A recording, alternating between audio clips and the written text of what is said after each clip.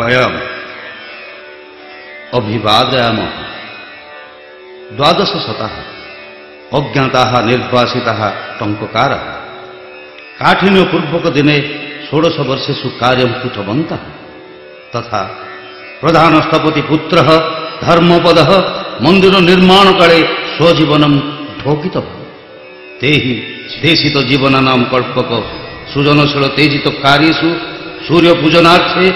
सृजनशील से सूर्यपूजनार्थे पाषाणस्य स्वप्नसृष्टि निर्मितवन्तः तथा धरित्र्यां तस्य आद्य धृष्णिः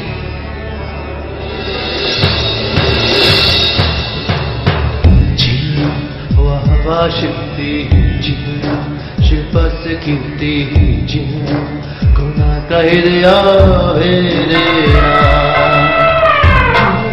वह